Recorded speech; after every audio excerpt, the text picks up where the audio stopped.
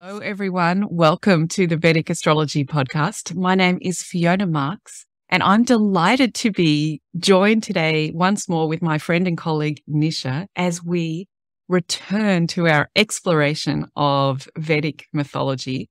Today, we're going to have a look at the moon mythology that we use in Vedic astrology. And between the two of us, see if we can navigate our way through to finding those gems and inclusive elements in the mythology that sometimes we can find the language a little bit exclusive. So that's our goal for the day. But before we dive in, Nisha, tell us a little bit about how was your experience of being in the podcast and having the episode go live?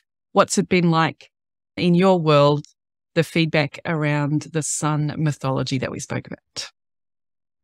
I think the overarching opinion is that people are learning a lot, not just about the, just like what Vedic astrology is, but just symbolically how they can internalize what's going on in their lives. And it's just really opening their eyes to how Vedic astrology can help them on a practical level. I feel since we published that episode, I've just really been seeing in the news all around me in the dynamics of our current culture, all of this ideas around power. I was just saying this to Nisha before we got on the podcast that I feel like the sun mythology myth, it really has helped me understand that when someone is in that position of power, it is natural that we just do not see what's going on around us because we're in our own amazing experience of manifesting and it all feels good and all looks good and the world is going well. And perhaps from those positions of power, we don't see the experience that others are having. And I feel like the sun's partner was trying to communicate that, and the sun just really didn't pick up on that. And she was very creative in her way of dealing with it. But I guess it's left me like the takeaway for me is really if anyone in a minority is giving feedback to those people in power, the people in power should be listening because that's what the sun mythology is trying to tell us that it's too easy to be in one's own world and that actually we, when we're in power, we need to be quite proactive about engaging with those people around us and what their experience is. So I've been seeing that in the news and in our current drive, strive for equality and inclusion in our culture. So I got heaps out of that sun mythology. And I hope that will be the case today with our moon mythology. In case people haven't listened to the previous episode, I just wanted to emphasize that obviously these myths have survived the test of time. And that is a great gift for all of us that because not all cultures, myths have made it here. So this is a great thing that we have these on that process of these myths surviving through all of time, through the dark ages, they have picked up elements that are a little bit harder for us to digest these days. So there's lots of maybe attitudes around gender that are different from what we feel comfortable now. There's also often there's violence and there's trickery and thievery and unexpected elements. So sometimes now in the present, we find those hard to deal with, but we must acknowledge that these myths have done very well to survive to this point. So let's see if we can find the archetypes that are there that have stood the test of time. And also, the second point to remember is that if you are a Vedic astrologer, if you're studying to be a Vedic astrologer, you'll know how useful it is to give your attention to a chart, even a difficult chart with elements that are perhaps unharmonious or violent or arrogant. And that as the astrologer, you're going to come across these charts from time to time or regularly. And we want to build up our skill as an astrologer to be able to stay committed to understanding that chart. And that's a little bit what Nisha and I are doing with this mythology that perhaps on the first time that we hear it, we don't really feel very attracted to some of the elements in those stories.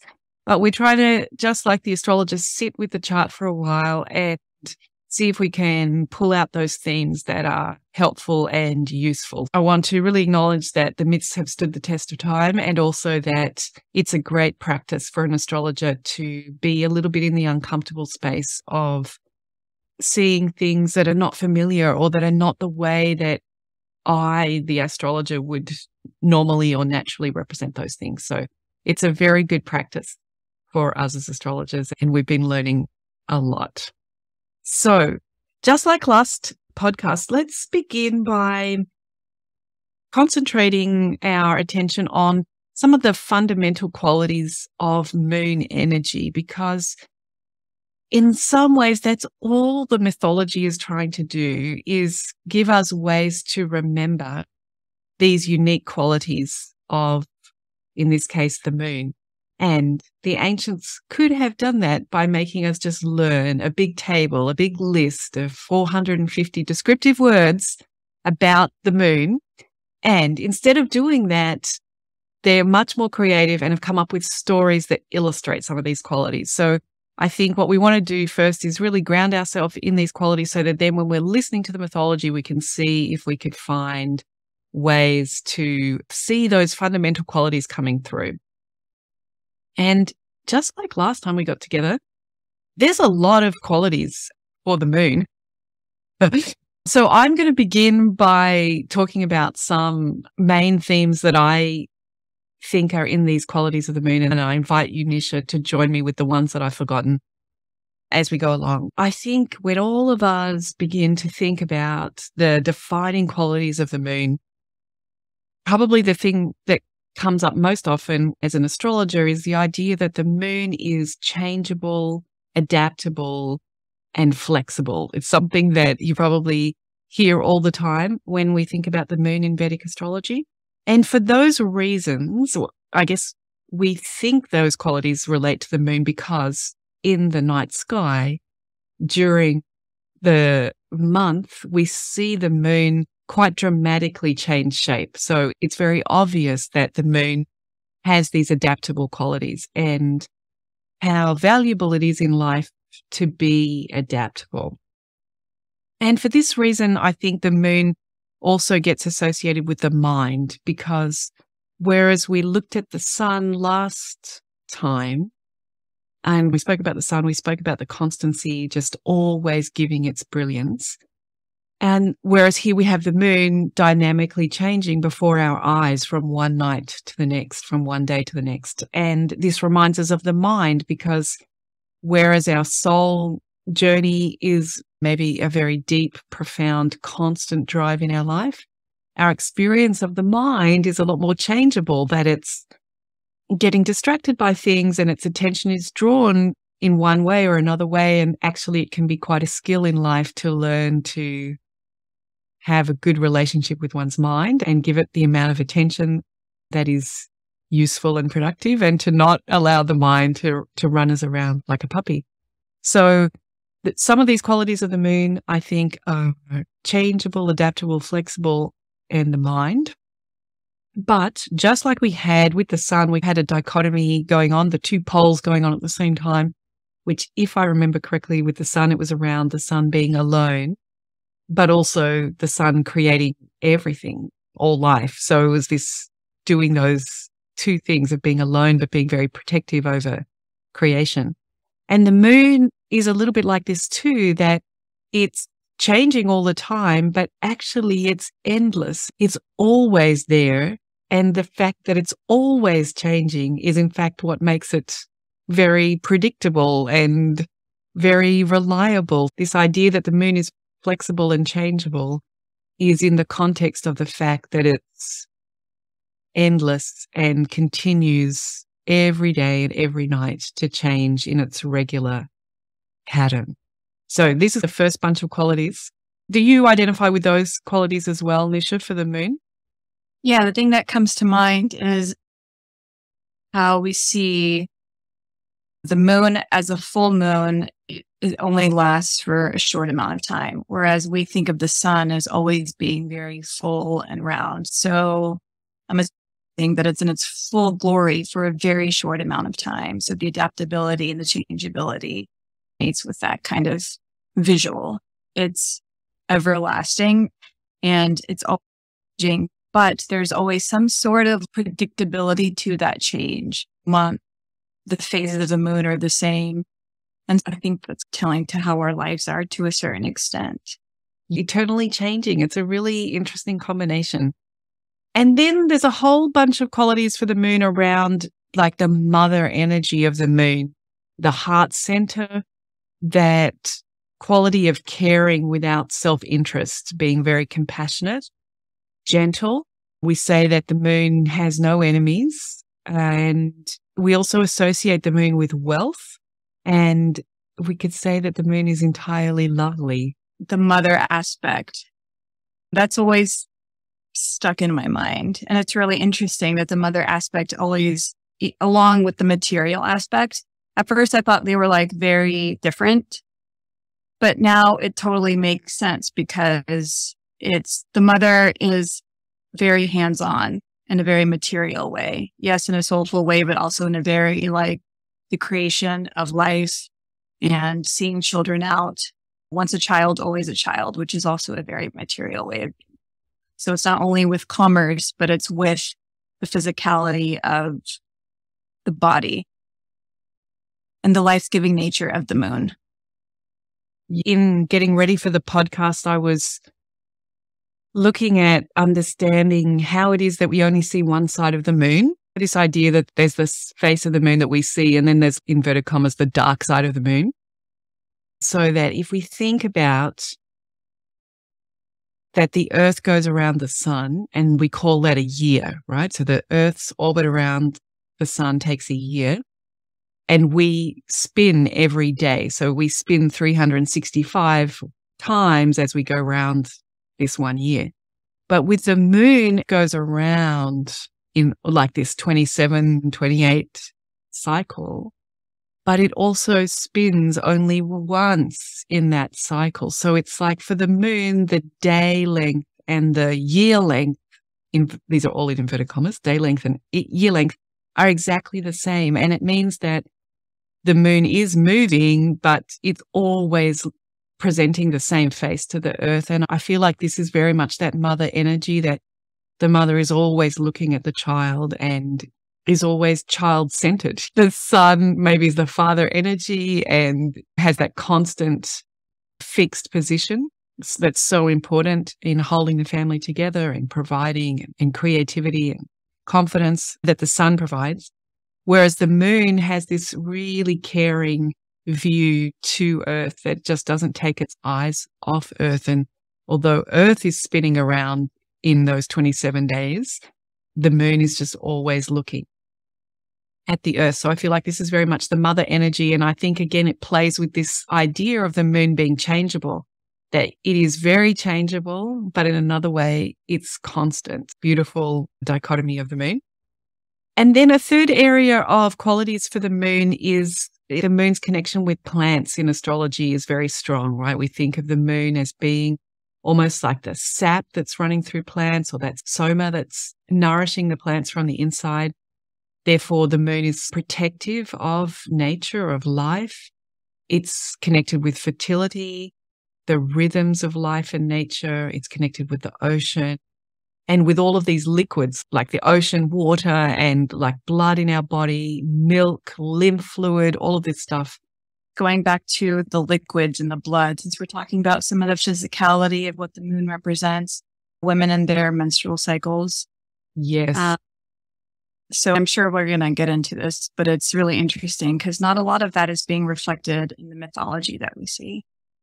The relationship with the moon and relationship with the menstrual cycle, it's very direct kind of relationship and the blood in the body, the hormones in the body, the changing phases of the moon and Another physical quality that didn't get on that list actually that should be there is like rhythm, that the moon rules music and rules that regular beat. These qualities of the moon are showing us that nature has this expansion and contraction energy.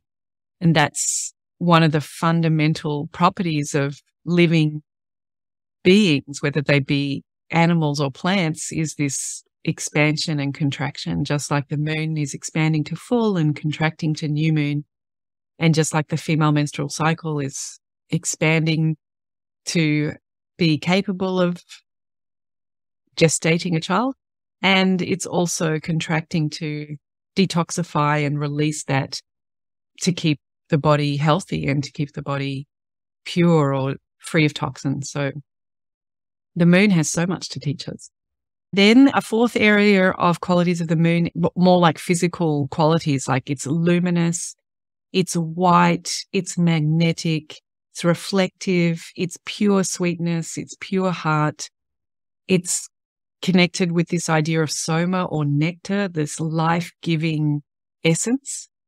And it's not interfering. It, it's very hard for us to look at the sunlight. It's not comfortable for our eyes to do that but it's delicious to look at the moonlight, right? That silver, white, luminous light is cooling and refreshing and intoxicating, magnetic, hypnotic. So I think there are some just physical qualities of the moon that are important when we think about where the moon is in a person's chart. I put together also a fifth bunch of qualities. One of the names of the moon is the creator of the night. It's also um, creation of the passing of time because we can see the moon changing right in front of our eyes. It really helps us to measure time that our orbit around the sun is 365 and a quarter days. That's a big number to get. It's not a very natural number, but the moon cycle, especially with its changing shape every night, helps us to really physicalize the passing of time and a month is something that we can all wrap our heads around. And even easier than that is the week, the week that the moon is full, the week that it's in a crescent, the week that it's in new moon, the week that it's in the other crescent. It's, these are very relatable time packets. So it's the creator of the night, but it's also the creator of the passing of time. This allows us to experience the world, to experience our karma, to experience time passing and to know that we're moving through our karma. And it's also, it's our dreams, the creator of our dreams. It is both moving and not moving. It's our subconscious. It's our imagination. So it's got these very special connection to our dreaming, to our aspirations, to what we can create with our imagination and how we can change the world with our imagination. And of course, it's receptive. It's showing us how to be receptive to dreams, to our subconscious, to our intuition. We always see Shiva with the crescent moon, and he's dated with time. And so he's very intimately connected in the mythology and in ritual, very connected to the moon. And another thing that comes to mind is how the moon represents the subconscious. And in terms of receptivity, being in a meditative state to me, in a lot of times is cutting through all the stuff that all of us humans go through and having a practice to finally be open to the goodness of how we were created and being receptive to that. So it seems to be that a meditative state can be can represent that as well as just like a conversation between yourself or your higher self and God and however you describe that. Yeah. yeah, I think that's really important what you're bringing in because in some ways, what I didn't put on that list was that the moon is connected to the feelings, to our emotions. And I guess it's on the list because it's, we talked about the heart and we talked about water and we talked about change. So all of these things tell us about emotions. But the Shiva connection is really important, isn't it? And I think this is a really nice introduction to speaking about the mythology because in some ways, the mythology we're going to cover today does talk to us about how to be detached with one's emotions or how to be mindful and observant of one's emotions and be in this experience of the moon, which is incredibly changeable and at the same time endless and enduring. For me, the myths that we're going to talk about are a little bit encouraging us to develop this relationship of equanimity with all of the changes that are going on. So then let's take that invitation to dive into some of these stories. And we've got a few stories with the moon, haven't we? It's not just one. Where would you like to start today, Nisha? I think the creation of the moon is pretty important. Yeah, let's go with the creation of the moon. The Vedic astrology myth that we think about around the primordial creation of the moon involves a rishi, which is a sage. And I've got here Rishi Atri and also a partner because we need two parents. And this is Anasuya Devi. Mm. And she's a daughter of Brahma. So we have once again a kind of God and human being involved in the creation of the moon. And Chandra or Chandra, the moon, is born as a boon from Brahma to the parents for their purity. So this situation came about. If we were to uh, try to tell this myth, the version that I read was that the three gods actually, I believe, Shiva and Vishnu and Brahma, they were married to some particular partners. And Rishi Atri's partner was very famous for their purity. And this caused some jealousy, perhaps. And the partners of these three gods challenged the gods to really see whether this partner was as pure as the reputation suggested. And so they came up with a scheme to ask the partner to feed them naked. And obviously, this is where it gets a bit disturbing. As a woman, and you're reading this, just not very palatable. But if we try to zoom out a little bit here, Anasuya demonstrated her faith. And I think this is a real property of the moon because of its changeability. We want to have faith that although it's always changing, it's coming back around as well. It's constant.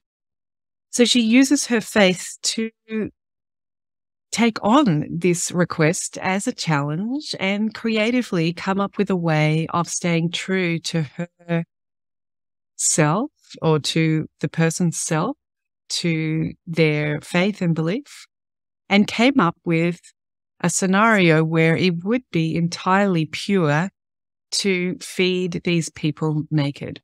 And what she came up with was transforming these beings back into children. And as they were children, this parent was able to feed them breast milk because that's an entirely appropriate relationship between the baby and the mother. And it speaks to us so much about the mother energy of the moon. And she fulfilled this challenge, this request, and maintained at the same time all of the appropriate and loving relationships. And I believe that she then held them hostage and the partners of the gods had to come and ask for their partners back again. And she was kind enough to return them to their adult form. And each of those gods then, Shiva and Vishnu and Brahma gave a different boon. And it is in the process of that boon that Chandra was created but the creation of Chandra actually required the other parent as well. So the Rishi did a particular discipline. The Rishi undertook a commitment to remain still.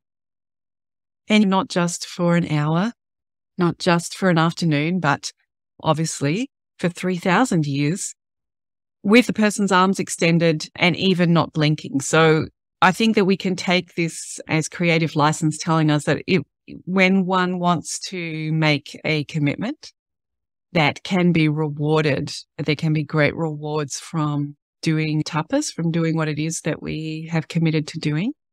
And isn't it interesting in all of this changeability of the moon that the moon's birth actually comes from a practice of stillness, of complete presence and stillness. So because of the devotion of Rishi Atri, the body of the Rishi filled with soma, this magical nectar, uh, magical fluid. And it, it, in fact, overflowed so much that it went up into the sky. And it overflowed and filled the whole heavens with luminosity. And with the help of some celestial beings that captured some of that essence, but couldn't quite hold on to it, it dropped into the shape of Chandra and the moon. And so we see that the very essence of the moon is this life giving soma. So we should we talk about some of the challenging aspects that are there, which is obviously it's the questioning of a woman's virtue, isn't it? Yes, the naked feeding. It's very disturbing. And so the cleverness is what is being highlighted. And of course, in my estimation, cleverness, of course, can be shown in a multitude of ways, but this one is based on a woman being naked, which seems to be a very common element within all these myths. So that I would say is disturbing. And I would say it's not only disturbing for women. I would say that if anyone a male or anyone was being tested for purity based on being naked. It's a challenging premise to to be tested in such a way or find it necessary to be done in the first place. As you were relating that, I was also having that feeling that in some ways this myth is trying to empathize with women or with minorities, with marginalized people that are put in difficult situations. So this mythology is trying to acknowledge that happens all the time and to have faith that there's going to be something good that comes out of this. I don't like being put in this situation. I wish that I wasn't being put in the situation, but life is full of challenges and this mythology is trying to show us that here's something that one thinks is impossible, that is just a really horrible challenge. And yet, mm-hmm. if we do have faith and we do believe in ourselves, there may be a creative way through that. And just to have faith that as icky as something feels, that the changing nature of the moon and our emotions is going to help us go through this situation and find a way to respond to it.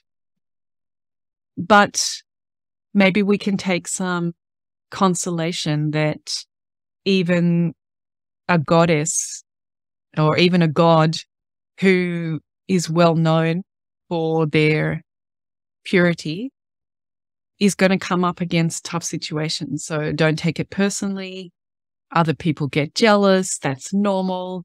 And this is a chance to be playful and creative and come up with something unique, which was certainly achieved in this situation.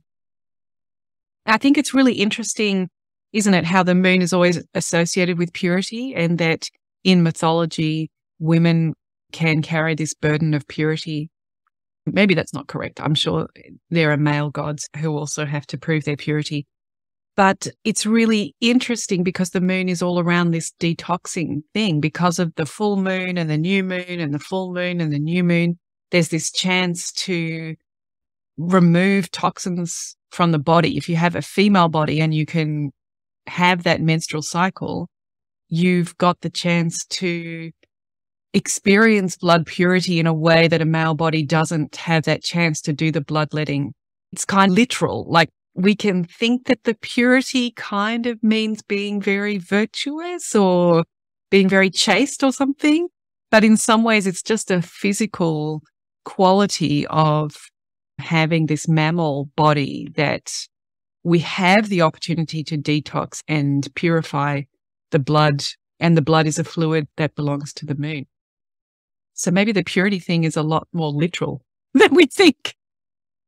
Yeah, I prefer that interpretation because I think purity has a lot of, especially in today's world, we're going to bring this down, that kind of thinking is has a lot of very serious consequences. Word has been defined in a multitude of ways based in religion and before them probably based in mythology. And like you said, it's probably not all women, but it's a lot of times young children and women who have had to have held that burden and through just our anatomy have been tested in certain ways in reality for that sense of purity. And just like what you were saying about the bloodletting, I think it's also really interesting that in terms of the detoxification and healing properties, how in medicine to heal XYZ ailment, they would bloodlet as a way to cure disease or at least to mitigate it. Yeah, I think it's something that we don't honor enough in our society this gift of being able to release through the blood. And I've always thought that maybe that's why women live longer than men, that we get this extra chance to purify a little bit the toxins that are maybe in the blood. Yeah. And I really like how the sun, it seemed to me that it was very like its brightness was internal, but it was also very external. So there's a very definite, okay, other people receive my rays and get life. I think with the moon, it's really interesting because in representing motherhood when you're pregnant, you're like mixing your fluids with your child. It's a more communal kind of give and take with hormones and with blood. So I think that's interesting. Yeah, I love that you're bringing that in. I think that's so true when I was breastfeeding, I mm. read this amazing article that even during the breastfeeding, because it's like a suction thing, the child is sucking milk, but the woman's body is sucking in the saliva of the child. And then the woman's body analyzes that for the immune system and puts into the milk the oh, wow. immune cells that the woman's body already has that relate to that. Exactly what you're saying, that there's, it's a symbiotic fluid thing. And I think this is very much what the moon is about. I think another thing that's important to take away from this myth is a sense of humor or a kind of going with the flow that the person is able to have. So this challenge that's presented to the person is very confronting and uncomfortable and inverted commas wrong. It's clearly wrong. It's something everybody knows it's wrong. And what the person is able to do is to respond in a witty way, in a funny way, humorous way, take the power away from the people that have made the challenge, shrink them down to babies. They can't speak. They don't have control of their body functions and feed them in an entirely appropriate way.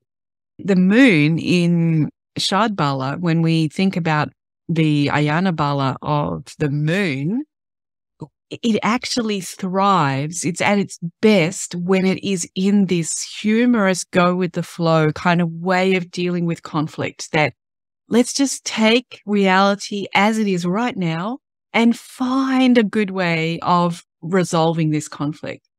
And when the moon doesn't work well is when it crosses its arms, stands there and says, nope, this is wrong. You shouldn't be doing this. I won't stand for it. And has potentially a tantrum about the whole thing because the ideals are, this is wrong. You are being inauspicious. You should never have asked me to do this. And you just go stiff and stops. And although that feels like the righteous thing to do, so I get you. If you've got your moon in those positions and you feel like you should stand up for what's right and what's wrong, actually what Shadbala is telling us in relation to the moon is that it is this going with the flow that the person demonstrates in this myth that instead of putting the foot down and stopping the drama and causing a headbutting, like an, an actual conflict, the person is able to be adaptive. And that is what the moon can help us with in terms of conflict resolution if it's strong in Luna Shadbala.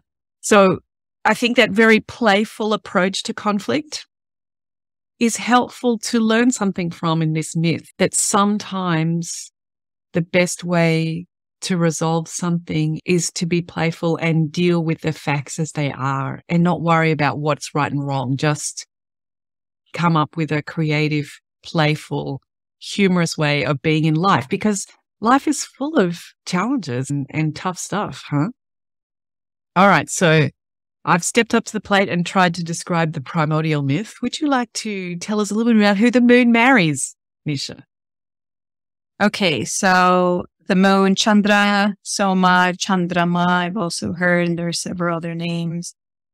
He marries 27 sisters who are also known as the Nakshatra. And Nakshatra means not destructible or indestructible or that which does not decay. So keep that in mind because it's very interesting and relevant. So the moon marries these 27 wondrous sisters and he ends up spending most of his time with Rohini. And the father of these sisters, Daksha, initially the sisters had gone to the moon and said, listen, Chandra, how about you spend some time with us? You're spending all the time with Rohini. Just make it a, a little equal here. And so they went back several times and he refused to. So then they went to their father, Daksha, and Daksha went to the moon and said, Hey, you're spending a lot of time with Rohini. You have to treat people more equitably and you have 26 other companions that you need to be spending more time with. So Daksha again gave him a couple of different warnings. The third or fourth time that Daksha had come to him, he had basically had enough because the moon still hadn't listened. So Daksha put a curse on him and said, listen, you're going to lose your luster. You're going to lose your vitality. You're going to lose your beauty. And so, though there was some satisfaction in this, the wives of the moon didn't want him to completely wane away, which is basically what was happening to the moon because the moon is very vital to the survival of many other things on earth and to life itself. So Daksha himself could not necessarily undo the curse. So he had to go to Brahma and Brahma had to then go to Shiva, who was the only one who could modify and alter the curse. Shiva saw that the destruction that the that the moon wasn't changing and wasn't going from the waning phases to the waxing phases, saw that there was going to be a lot of destruction in life and it just wasn't sustainable. So Shiva said, okay, I'm going to give you half, half the time where your luster and beauty and vitality is restored and the other half where it's not. And Chandra, you must spend an equal amount of time with all your wives because that equanimity is very important. So that's where we get the phases of the moon, the waxing and the waning of the moon. And it's really interesting that nakshatra means indestructible and that which does not decay because they're holy beings in mythology as well. And it shows what we were talking about earlier about the endlessness of things and the continuity. And so that which does not decay is really interesting because it's necessary that just in terms of that detachment that we do not even good times, bad times. And the nakshatras represent everything from good, bad, ugly, death, so many different things that all of us go through every single month. And so if you stay too long in one area of your life for whatever reason, too much of a good thing causes decay. And so that's where we are with that myth. And of course, what is hard to digest about that in some ways is the idea that once again, the women are mistreated, the wives are mistreated, and they have to really band together and rally to to get somebody to do what they're supposed to do. I guess that's what's hard about it, isn't it? But from another perspective, what I found the interesting about this myth, the other way around, was that there's no real story about whether the moon chose to be put in this situation. I don't know that the moon actually wanted 27 wives. and I think that this because I really, obviously, this mythology has survived largely because wonderfully the priests have kept a tradition going and it's usually passed from priest to priest or in the male tradition. And here it is, it's arrived to us today. However, I think if this was in the nunnery, if it was the nuns who kept this story, obviously this would be a story about menstruation, something that changes every day, something right. that takes 27 days. I think we know exactly what the nakshatras are representing here. And I do feel as a woman that one doesn't get to choose these 27 wives, right? That, that the puberty process is that you were uh, you were exactly like your brothers, equal. Your emotions were pretty equal all the time. Angry when you're angry, sad when you're sad, tired when you're tired. It was all exactly the same. And then hormones come along, and suddenly you're you're on a roller coaster of these 27 different days. And I do feel for the moon, the male character in this that he didn't get. I don't think he put his hand up and said, I want to marry 27 wives. And I think that speaks about if this was being retold in the nunnery, this would be that one doesn't necessarily get to choose this experience of so much stimulation and so much change. However, one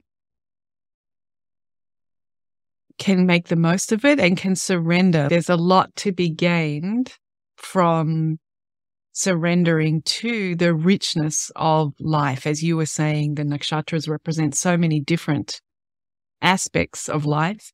And if one can surrender to that, it's a very rich way to be alive. And we talked about the moon being related to our emotions. And this story is a little bit like that, isn't it? It's that we're going to, throughout a month, we're going to experience very different emotions. And the point of the story being a spouse, I think, is that we want to have a good relationship with all of our spouses, with all of our emotions, that each one of them is valid and has its own unique experience and to be fully present to that relationship, knowing at all the time that it's going to keep changing. We're going to keep moving and we'll be experiencing something else in, a, in another day of the month. It'll be a different experience. Yeah, it's a really great way of looking at it. I would also say that the 27 sisters did not seem to have a choice of sharing one husband. Now that you mention it, it's probably painful for everyone involved.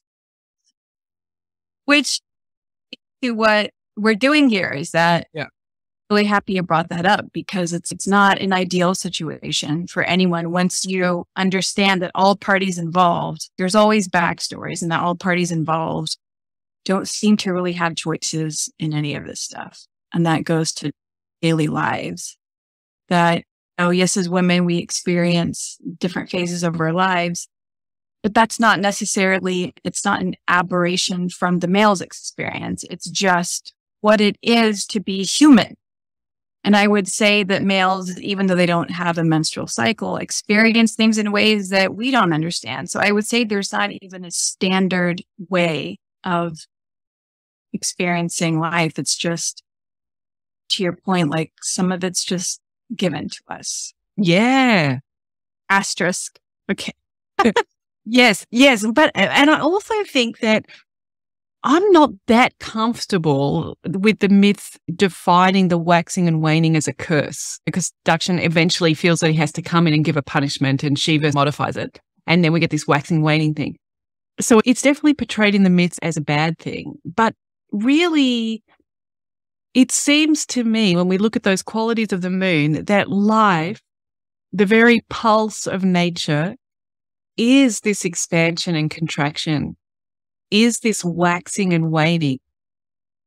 So it's a blessing. Without the waxing and waning, without the expanding and contracting, we really don't have life on earth. If we think about, we talked about that the moon relates to liquids. It's got the, we've got the tides on coming full tide on the full moon and going out. And the, when the moon's on the other side, we have this rhythm of the water, this enormous body of water moving with the moon.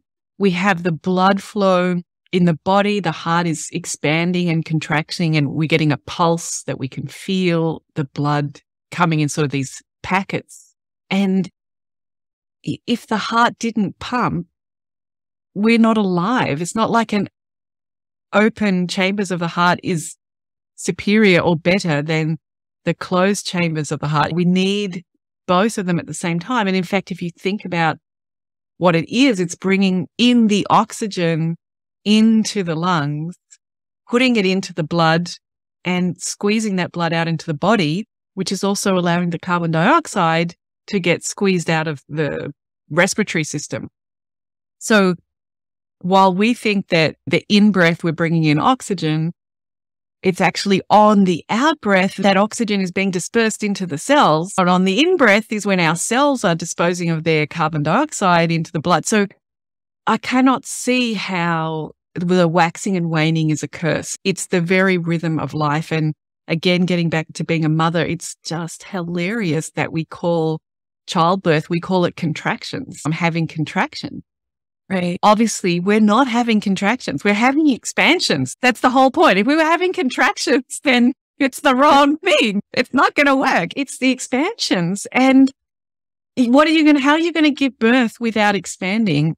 You need to be able to squeeze and expand and squeeze and expand. They both go together. Sometimes the things that we have problems with in this mythology is the gender things, but sometimes it's also, I just can't, I can't see how looking at waxing and waning as a curse is actually a reflection of nature. It seems to me that this is, in fact, essential. This is the experience of being alive is expansion and contraction.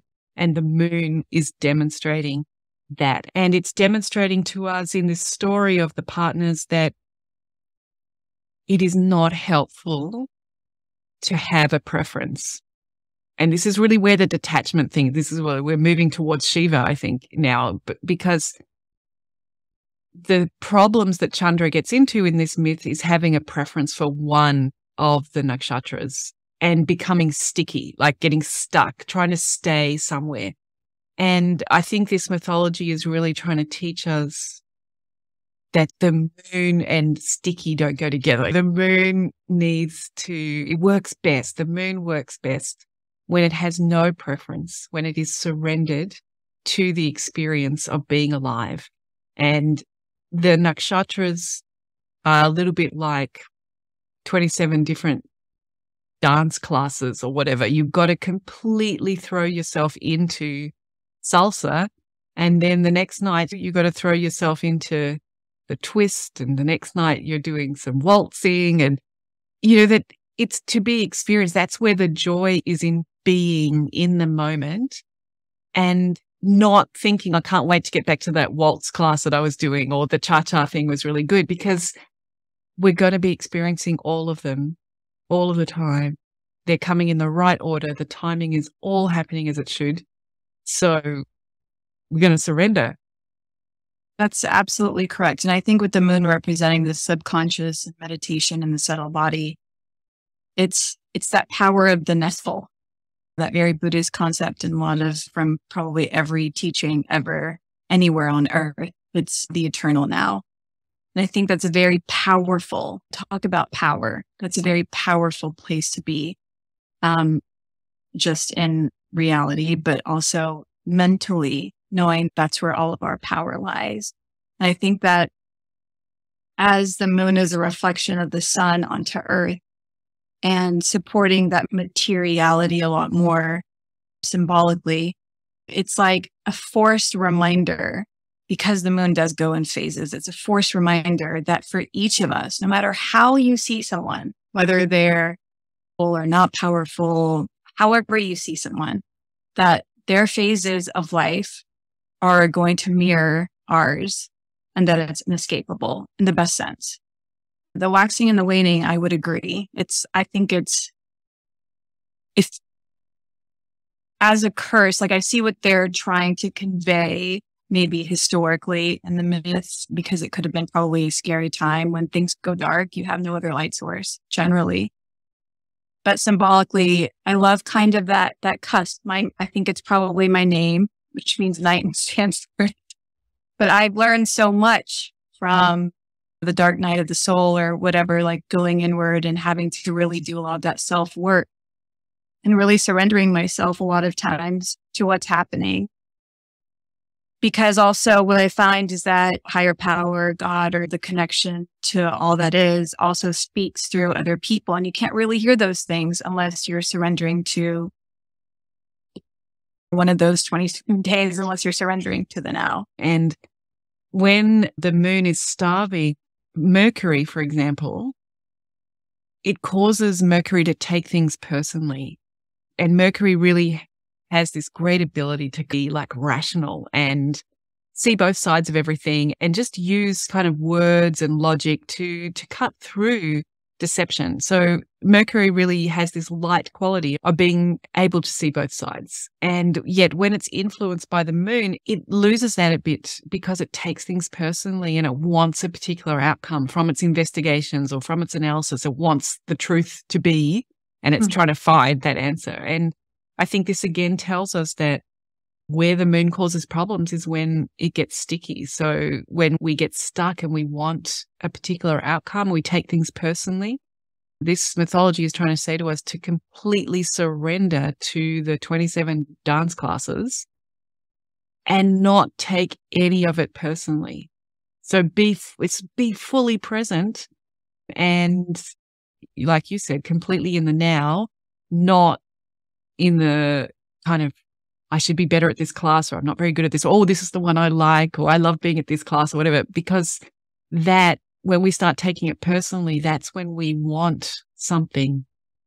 And that's when the mind becomes harder for us to experience bliss is when the mind is wanting something, it latches on to an idea or a feeling or that a sensation that it would like, and it's chasing after that. So it, this story is helping us coming back to that dichotomy thing of being completely surrendered, really experiencing something and not personalizing it, not holding it in any way, just being ready to let it go. So it, the story is helping us with this, the idea of detachment and having equanimity, even as we've been spun on the dance floor and we move to the next dance class and the music's completely different. And, and I think that this is something that perhaps when we look at the more the male telling of this mythology, sometimes the moon to me comes off a little bit like a metronome. It's like the rhythm of life, tick, tick. And I can see that in some ways that is a representation of the moon. But I feel that it's a much more dynamic. It's not just on, off, on, off, on, off. It's really being thrown all through the experiences of all of these phases of the moon. They really have an energy of their own that's very dynamic. And that's why it's so important for us to learn how to practice some equanimity, which I keep saying that brings us to Shiva. So another creation myth for Chandra is if we go back to the ocean, the milk ocean of consciousness, and this is part of our Rahu Ketu mythology. So you might already know this myth, but the idea is that in order to experience material karma, for us to be able to actually use this playground of planet Earth to work our way through all the lessons that we would like to detach and let go of, we actually need a whole lot of playthings here on the planet to to bounce off and to have our experiences with. And so out of the ocean of consciousness or the milky ocean of unconsciousness, we need to churn and bring up the things that will allow us to resolve our karma. So to do this, there were various mythological creatures and factions that helped. So, in fact, I do think that both the demons and the angels got together to stir the ocean of consciousness with a giant mountain.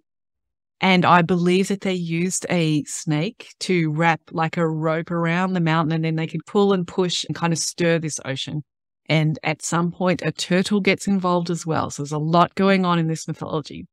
But once they agree and find a way to work together, the gods and the demons, the ocean does start to produce all of these products that are important for resolving our consciousness. And one of these products that comes out out of the milk of consciousness is Chandra, correct? A disc. Each of the gods are there, Brahma and Vishnu and Shiva are there. And Shiva claims the moon as a tool or a symbol associated with Shiva. And in fact, places the crescent shaped moon in Shiva's hair. This is telling us that even Shiva, the god of detachment, of the endings of things, how important emotions are, and how important the mind is in all of those processes, because Shiva is wearing the moon very prominently in the hair. And I believe it's a crescent moon. And perhaps this is telling us that the right amount of mind is very helpful in being human. It doesn't have to be the full moon, the entire glowing, luminous moon. Perhaps the mind is best when it's in the ratio of mind to the rest of experience is a small crescent of mind and a whole lot of a whole lot of soul and spirit exactly. I think that it's really interesting that the moon is placed up near Shiva's, near his head, near his mind. And even in that realm, just the connection that Shiva has with understanding how important the human experience is not just the spirit experience, but the human experience and how the mind is how we get things done. And even though it is such a small part, it's a vital part to be able to do the things that we're supposed to do here on earth.